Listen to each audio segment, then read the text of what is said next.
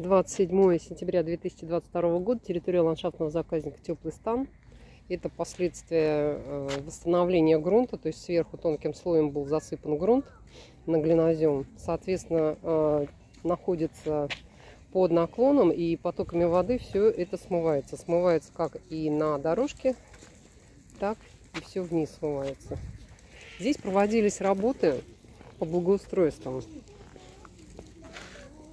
Остатки асфальта, металлических прутьев. Вот такое состояние бортовых камней. Здесь видны следы трактора. Колеи образовались уже на самой плитке.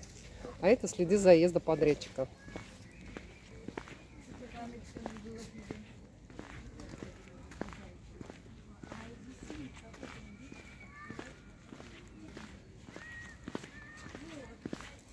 Также смывается грунт и на эту дорогу. А это остатки строительного мусора, то, что не убрал тот же самый подрядчик.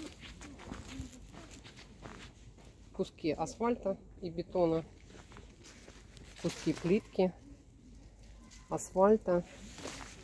Здесь плитка, цемент, здесь все в строительном мусоре. Здесь все посбрасывали вниз. Вот так вот у нас охраняется заказник с сотрудниками Мосприроды. И усиленные рейды госинспекторов тоже приносят свои результаты. Ну, здесь вот тоже все завалено траву. Сейчас сойдется трава и будет лучше видно гораздо.